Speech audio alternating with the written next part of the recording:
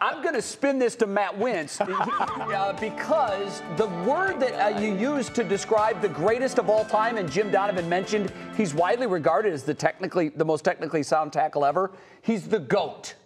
GOAT, greatest of Oh, all that's time. the word. That's your weather word today. Got it. Nice. We'll, we'll get GOAT into the forecast for sure. And uh, Jay, I'm not worthy as well. Uh, you already know that, though. All right, tonight, let's start with the boring part of the forecast, right? Just clouds sticking up tonight after some sunshine today. Notice winds are light as well. Temperatures right near 30 degrees.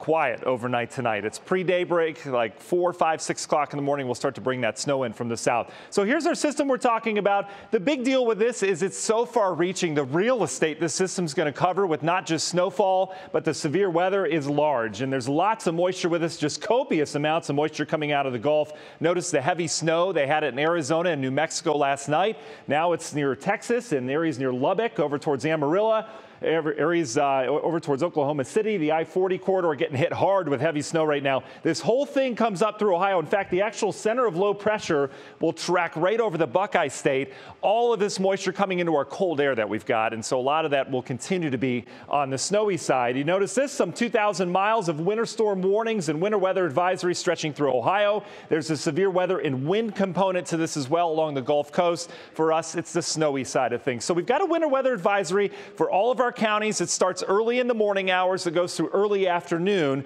reason why it goes through early afternoon is because we'll start to change over to some rain as we warm that atmosphere up as some of that warm air gets into this system. So the forecast hasn't changed. I've been very impressed with the models over the last two days.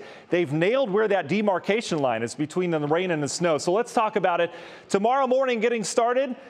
I mean, look at this. Four o'clock in the morning, it's not snowing yet, okay? So we're not going to have a lot of snow on the ground. The snow will be starting down towards the south, and it's going to come in hot and heavy, much like it did on Sunday.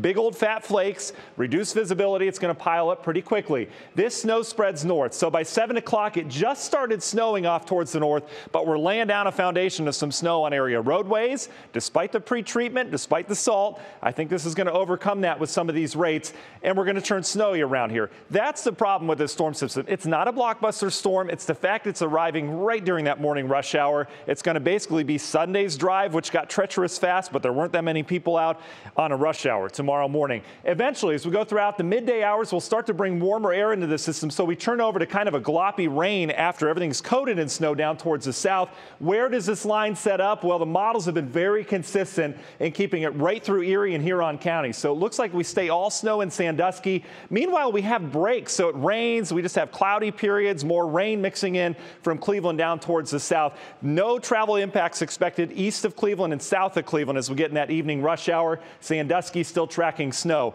Late in the evening, though, colder air wraps back in. We change it all over to snow. And then we talk lake effect. I think this could be the most impactful for Cleveland on into Thursday morning as the lake effect keeps going.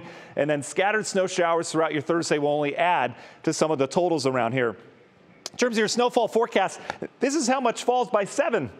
Not much, maybe one to three inches, but it'll come in here fast. So not a big snow tomorrow morning. Keep that in mind as we go into the afternoon. Notice Sandusky dealing with some snow. And then as we get into that lake effect part of the storm, that's when we start to pile up a little bit more, several additional inches. But the impacts by far are back from Sandusky west, and that will be all day tomorrow. So this system, certainly not the GOAT. Notice that tomorrow morning we're dealing with just a snowy morning commute. We'll have it at moderate with the roads. Not a lot of wind with this, and not a lot of cold with it either. In terms of snow-related weather accidents, want to share this briefly. When do we get the most snow-related accidents? Is it traced to two inches, two to six, or the big snow, six to 12?